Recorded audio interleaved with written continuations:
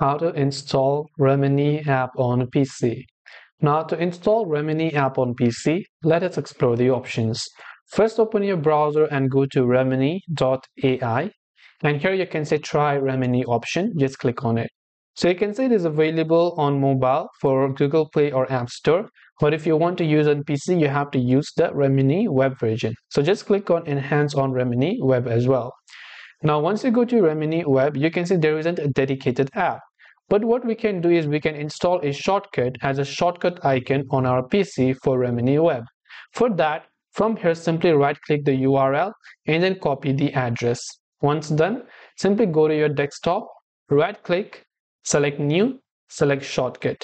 In the location of the item, just paste the link that we copied and hit the next option. In the name for this shortcut, just type in Remini AI and hit the finish button. Now, whenever you click on this, it will open up Remini AI. So I hope this video helped you. If you have any questions, feel free to leave them down.